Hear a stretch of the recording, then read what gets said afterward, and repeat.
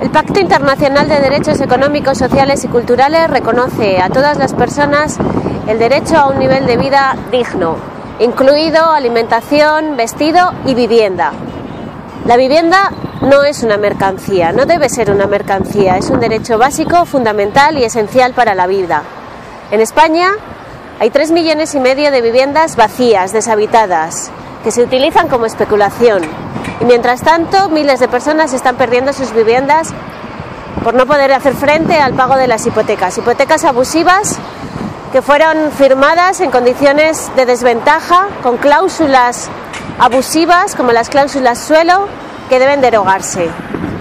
Hay que cambiar el modelo productivo y hay que cambiar el modelo de sociedad, primando la rehabilitación por encima de la construcción. La rehabilitación crea tres veces más puestos de trabajo que la construcción de vivienda nueva. En España solamente se está dedicando un 28% de la obra a rehabilitación, mientras que en países como Alemania se llega hasta el 56%. Hay que cambiar el modelo de ciudad y reconstruir y revitalizar las ciudades compactas, las ciudades mediterráneas con usos equilibrados e intercambios de usos de diferentes espacios del suelo y de los edificios.